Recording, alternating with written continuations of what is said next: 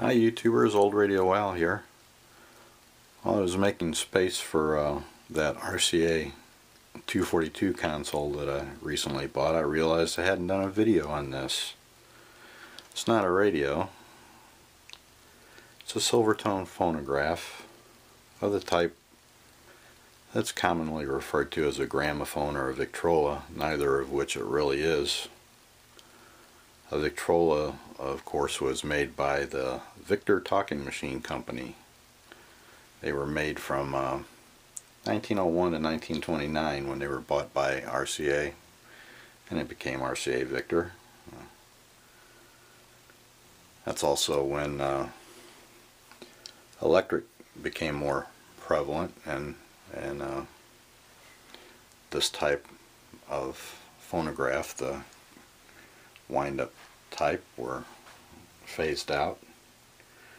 Gramophone was a more generic term. It was used by a number of different makers, uh, Edison among them. And that term included uh, the cylinder players as well as the disc players. Sears started marketing phonographs in 1915 and they sold them until the late 20s when the electric models became available. You can see Silvertone.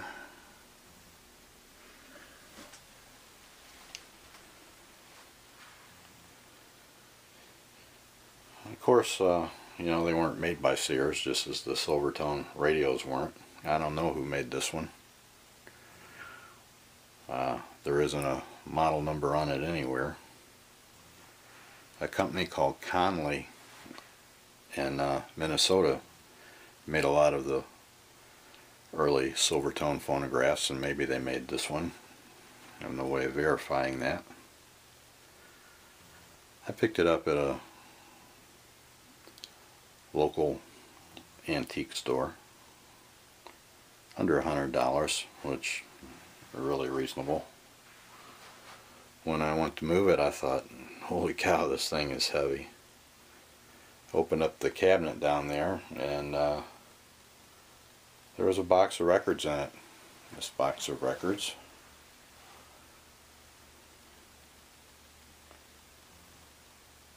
A lot of them aren't in uh, really great shape, but you know, there's some really old records in here. Some are easily as old or older than the than the player. Kind of makes you wonder maybe this was you know the original owner collection.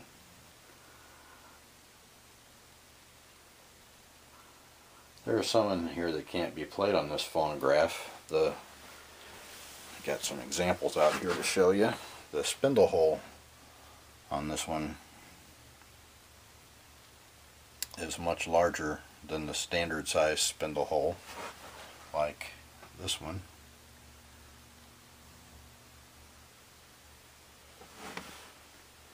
You probably also thought colored discs were, you know, one of those things that someone thought of in the latter days of, of records. Well, guess again. this one's on Grey, Grey Gull Records. Go chase yourself.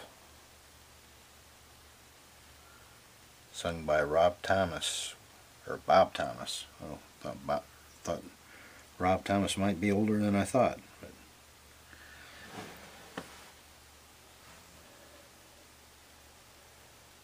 And these are the, that's a standard 10 inch size. Here's an 8 inch on Victor Records.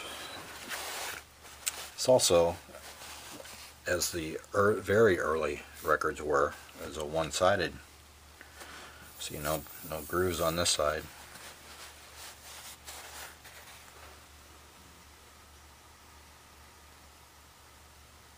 I don't know if that light helps or hurts. Yeah, I guess it helps.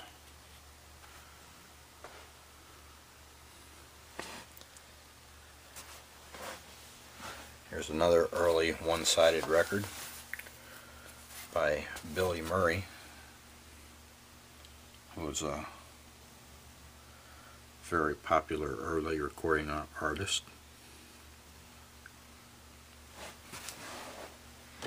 That's a red label Victor. The Barefoot Trail by John McCormack. And that's a one-sided. There were also a number of these in, in the box. It's uh, in Yiddish. Uh, from what I've read, those those were a common subset of uh, of early recordings. They did a lot of these. You can see that the the hole is boogered up on this one. To go back to this record and the the uh, spindle hole that's as you can see I can fit my finger in it. Apparently uh, some early manufacturers practically gave away the the record player and they would uh, make their money by you having to pay a premium for the records that they that would that would work with that phonograph. This was one of those type. So what you see quite often are records like this where someone has drilled out by hand a standard size spindle to, to play on one of these spindle type uh, phonographs. I really wish this one hadn't been. I think it might be an interesting record. It's a national anthem march by the USS Pennsylvania band. Would have been cool to listen to. I might try to figure out a way to listen to it yet. Anyway, got a whole box of these.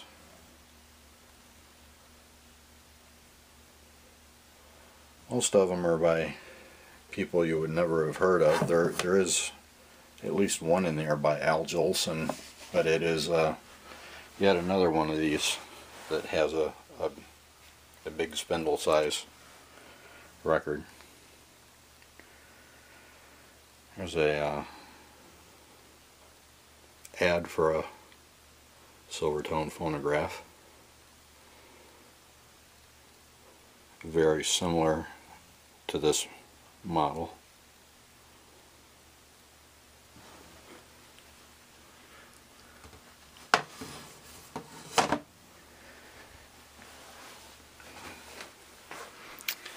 This is pretty much the original finish. I used Howard Restore finish on it. Came out pretty nice.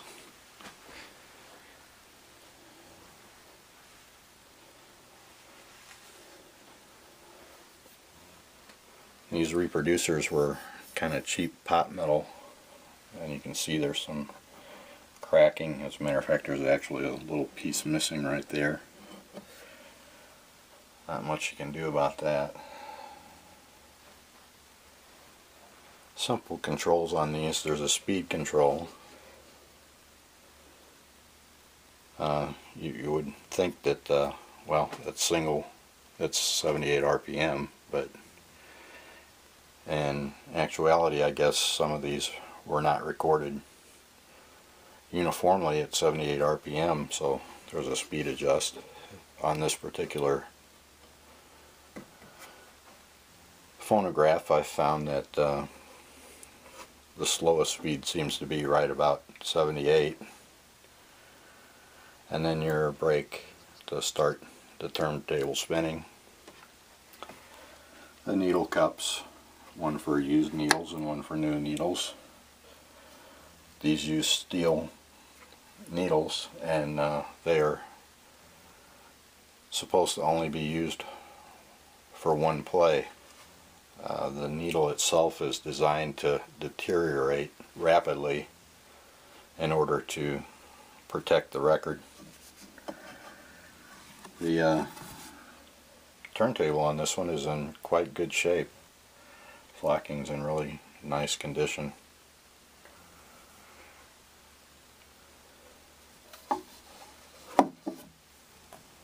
have a Silvertone record here to listen to and it's uh, Give Me a Little Kiss Will Ya Huh a song you may may recognize although even if you don't recognize the artist who is Con Confidential Charlie. and I've got it cranked up and ready to go, so let's give this thing a listen. Let it get up to speed.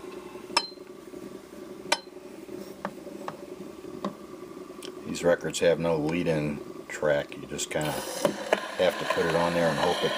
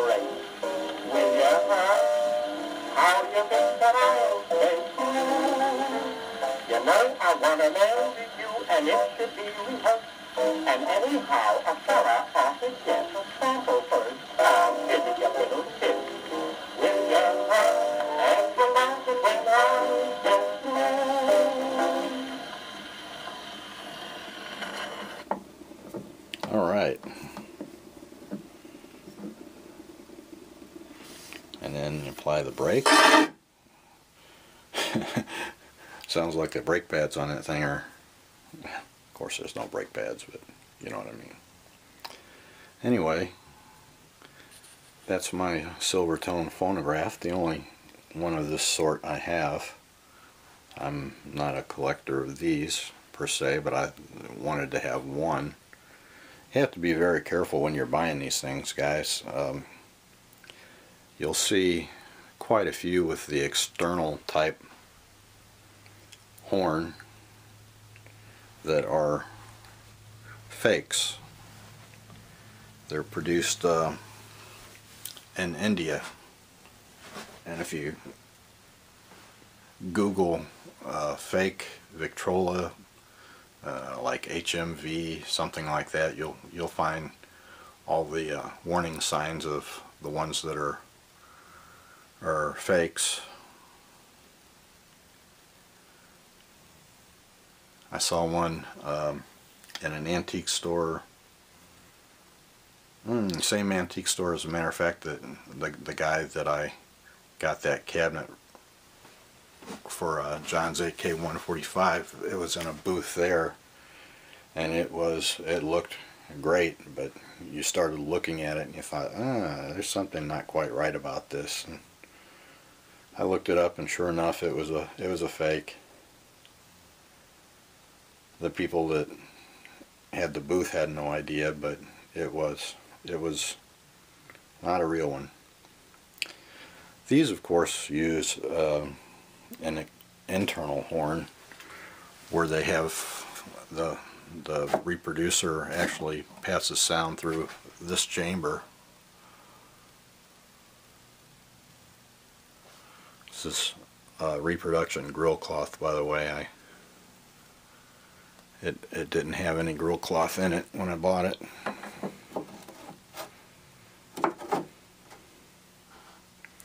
Other than that, in very good, very good condition. Quite pleased with it. So that's my Silvertone phonograph. I guess you'd, I don't know what else to call it. Next video we'll get back to the radios. And with that, thanks for watching. More radios on the way.